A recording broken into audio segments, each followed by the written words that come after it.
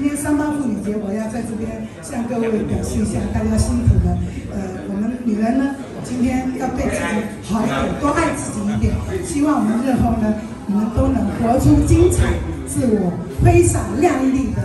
呃自信呃我们要少一点油烟味多一点香水味。那么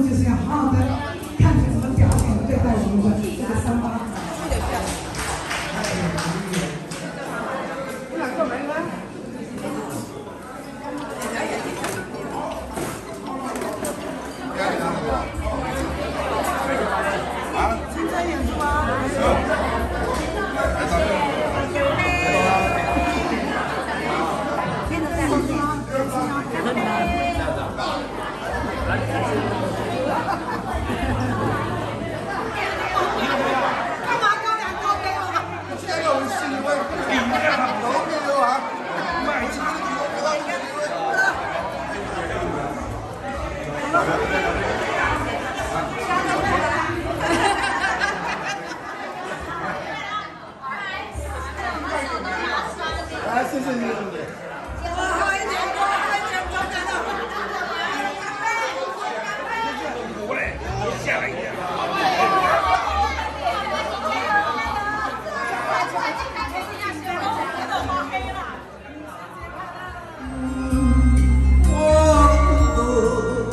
Everything comes up with you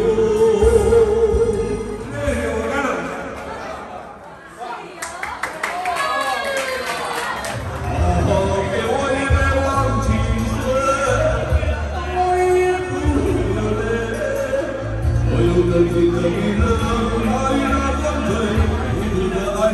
đời đời